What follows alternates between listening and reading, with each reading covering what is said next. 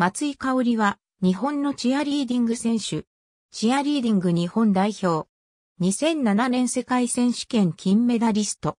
群馬県伊勢崎市出身。高崎商科短期大学附属高等学校、日本女子体育大学体育学部卒業。日本女子体育大進学後に、チアリーディング競技を開始し、インターカレッジ3位入賞などの成績を残した。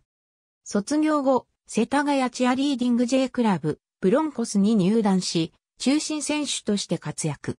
2007年、チアリーディング日本代表に選出され、世界チアリーディング選手権に出場。金メダル獲得の快挙を成し遂げた。2012年8月のジャパンカップ2012チアリーディング日本選手権大会への出場をもってブロンコスを卒業。抜群のリーダーシップを誇り、日本女子体育大学チアリーディング部ではキャプテンを務めた。高い身体能力としなやかさが持ち味。クラブチームの魅力に迫るブロンコスチアリーディングマガジンレッツチア第4号。ニューズ出版。2008年5月18日、83ページ、2016年8月20日、閲覧。AB、日曜連、ブロンコスのブログ、サイバーイジェント、2016年8月20日閲覧。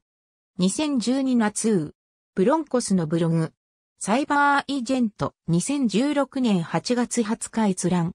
ありがとうございます。